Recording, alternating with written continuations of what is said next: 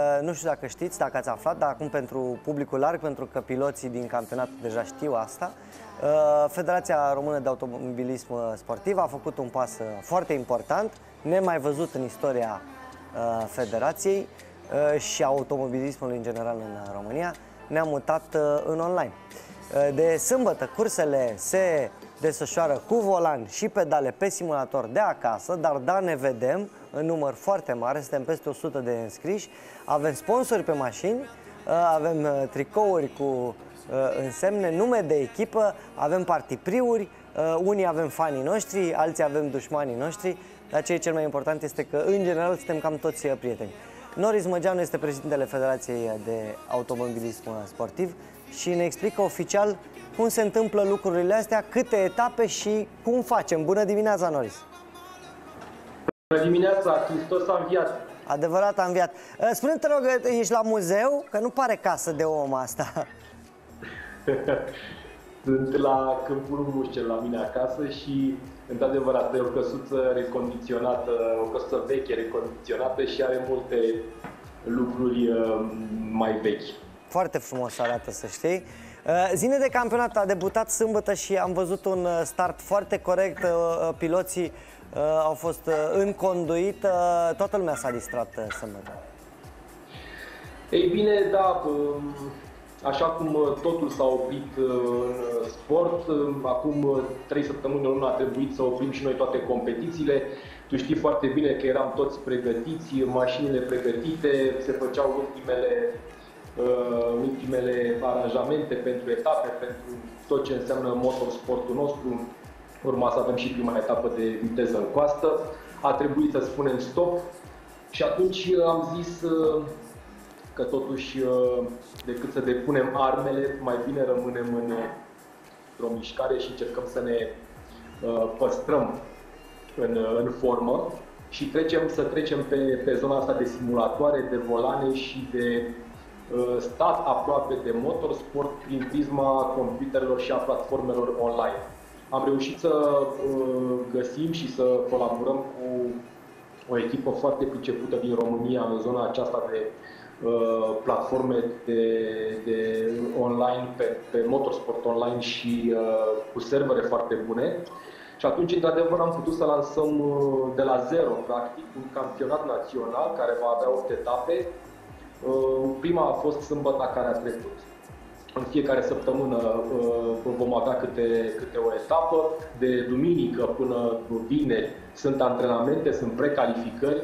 Toți cei care sunt înscriși uh, fac ture pe, pe circuitul care este programat pentru săptămâna în curs, urmând ca vineri să fie manșele finale, manșe care sunt transmise și pe YouTube și pe Facebook, ba chiar și pe pe TV. Da, asta e un lucru uh, foarte eu... important, am reușit să intrăm și pe TV. Uh, am văzut pe canalele sportive inclusiv meciuri de fotbal uh, în weekend, mi se pare super tare. Uh, dacă doar așa putem, uh, asta facem. Deci vom fi și pe TV, și pe YouTube, și pe Facebook. Um, uh, să știi că, în general, detaliile tehnice sunt cunoscute de piloți. Dacă vrei să adați ceva pentru publicul larg, pentru că e foarte interesant și foarte intens ce se întâmplă acolo. Nu doar ne jucăm, transpirăm, ne bate inima tare. Mirea mi-a zis că la start este atât de emoționat ca la o cursă normală. Exact, exact așa este. Am uh, povestit cu mulți dintre cei care fac asta um, de mult timp și uh, deja o practică uh, zi de zi. sunt, uh, sunt persoane care au simulatoare foarte performante acasă. Unul dintre aceștia este chiar Pietru Nou Florin Bercea, vicecampion uh, olimpic la tenis, unul dintre cei mai mari jucători de tenis ai României, care are un simulator extrem de performant, care petrece câteva ore pe zi Uh, uh, pe aceste platforme și care în timpul unei astfel de competiții, care durează o oră, o oră și 20 de minute, slăbește 2-3 kg în funcție de cât, uh, de cât implicat este și competiția o desfășoară cum în plus de curse, cu chetele de concurs, pentru că pedalierul este unul extrem de performant și tot așa.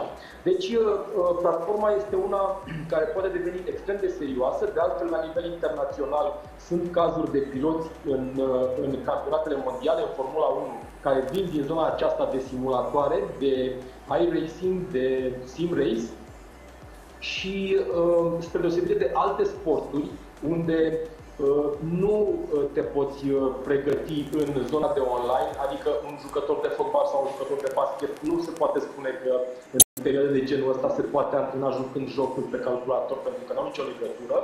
În zona noastră este un link, o legătură extrem de mare între ceea ce facem noi în mod normal pe străde și aceste simulatoare, pentru că îți păstrează niște instincte, te obișnuiesc cu un mod de a pilota mașina, care e adevărat, nu este același cu cel din exterior, dar păstrează anumite legături.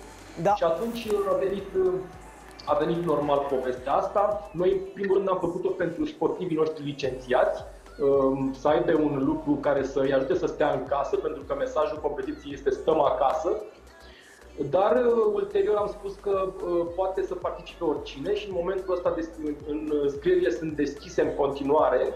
Pentru oricine uh, iubește, este pasionat de, de automobilismul sportiv, de motorsport și are acasă, bineînțeles, un volan un volan pedalier și un computer pe care să poată să descarce Uh, aplicația. Toate detaliile găsește omul pe fras, chiar pe fras, e totul foarte limpede. Eu ieri mi-am făcut înscrierea oficială și mi s-a părut super uh, repede și băieții care răspund la mail în a doua zi de Paște, uh, mi se, asta mi se pare că este viitorul. Deci cineva mi-a răspuns ieri în a doua zi de Paște, la 10 minute după ce am trimis mailul de înscriere.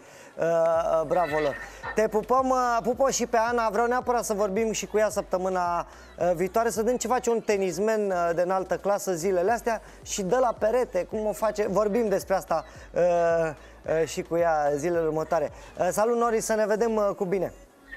Mersi, mersi mult, vă salut, zi frumoasă, spor la emisiune. Te salut, te salut.